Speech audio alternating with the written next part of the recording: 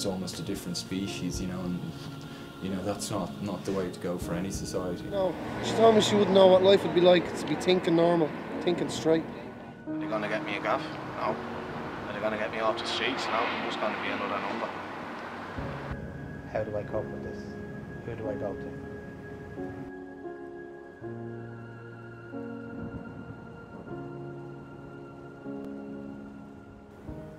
There are currently 5,000 people registered as homeless in Ireland. Two to 300 of these are sleeping rough. We wanted to find out why, in the 21st century, there are still people without a home. Due to the sensitive nature of the programme, some people could not appear on camera. We created a reconstruction to give those people a voice. Got thrown out me gaff by me dad When was this? about two years ago. And what happened? Just hanging around with a load of lads and my dad didn't approve and he fucked me out. Do you still hang around with them now? Not really, no. Where do you live? On the streets. Got nowhere. I'm in Beach House at the minute in Avon Street, but from tomorrow I'll be on the streets, back on the streets. And why are you back on the streets again? Because me and my fella are finishing after 14 years.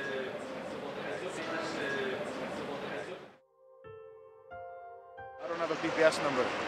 Now, there's like a vicious cycle there, so that's one of the reasons uh, I'm homeless. In fact, that's the whole reason I'm homeless, is because without a PPS number, you can't get welfare, you can't get a flat, you can't get a job, you know. And I don't have my passport now because I used to be in the army, so it was confiscated.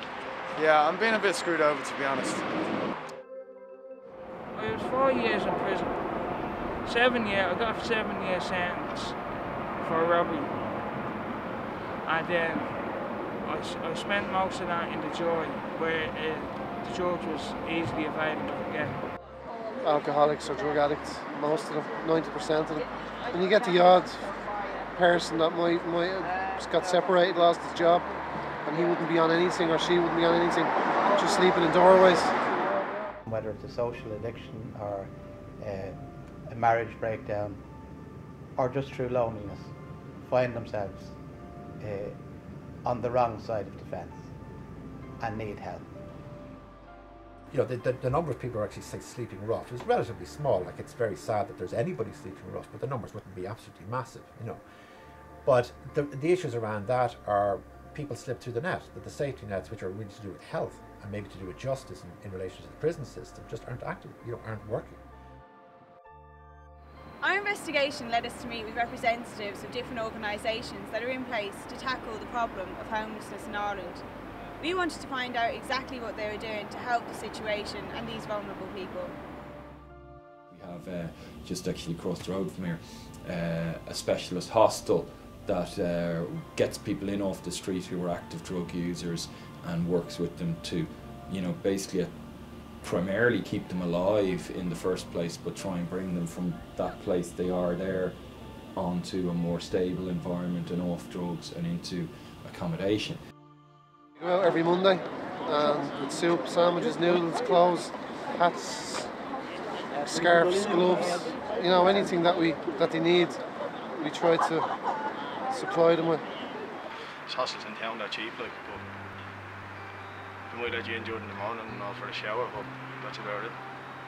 And what are the hostels like? It's grand, like, they're not, they're not like home, some of them have TVs and all, you go to bed, but it's more about just getting a shower. It's hard to keep clean, like, you know, wet and all. If you were sleeping rough, where would you go in Dublin, I I, suppose? I, I, I felt safe down the corporation buildings. Oh yeah. Because at the front of the corporation buildings, there's a bush before the window. So you could get over the bush, like, so to snuggle up beside the window. And then nobody knows you're there. People prefer to sleep on the street. Yeah. And why would you say that is? Well, Maybe safety thing. There's a lot of uh, drug use goes on in, in hostels. And so if a person wasn't a drug addict, they wouldn't want to be going into that environment. They'd rather sleep in a doorway or up an alleyway where there's nobody there, you know, to be safe. They seem to be closing down a lot of the places. They're, they're closing down Cedar House on 31st of March. That's where a lot of homeless people would sleep. And they seem to be closing more and more of them down, which I think is a bad thing.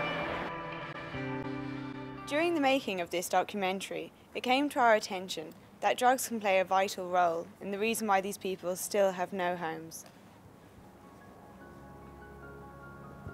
So if they were homeless, they were going into emergency hospitals, and you know where there'd be drugs and that, so they might be go back on the gear. And again, you might be familiar with that if you've been a hard uh, addict, and then you go back to take the amount that you did before, it can kill you because your body's clean of it. And I went up to Thomas Street and I was just questioning in my head what I was doing up here, you know. And I ended up getting the bag again. And I remember back then I was sitting in my flat and I, uh, I cried for seven hours. Will I, won't I? Will I just flush it? And I had a little baby at the time. So I was ashamed of myself. Kids on the street, 18, 19. There's one girl we met and she she doesn't remember ever being in sobriety. You know, she doesn't she wouldn't know she told me she wouldn't know what life would be like to be thinking normal, thinking straight. She's completely messed up. Yeah. Completely wasted life. I'm going up now to get my methadone. I'm on weekly, so I'm going to collect a weekly script. Okay. But I've a chest infection, a kidney infection, which I shouldn't be sitting down. And I'm three and a half months pregnant, and I'm in the hospital at the moment. Not into anything hard, like, but people assume you are, so they don't give you money half the time. Just presume you're on gear. Were you ever on gear? No. There is no obvious solution to the problem that is homelessness in Ireland, as each case is unique. However, there is help out there.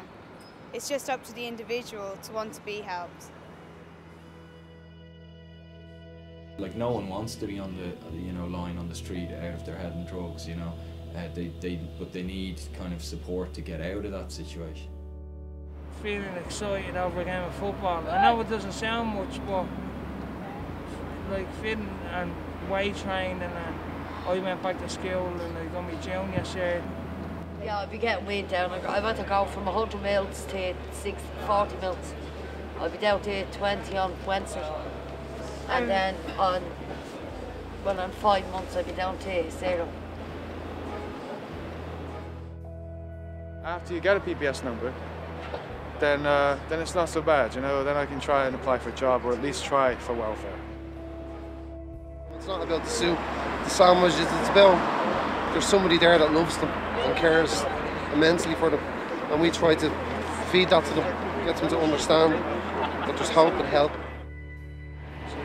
So it's all back to you have to take up Yeah. the initiative to get away from the circumstances that you live in. Nothing is certain. I could be talking today as the CEO. There's nothing to say that in a year's time I might need accommodation.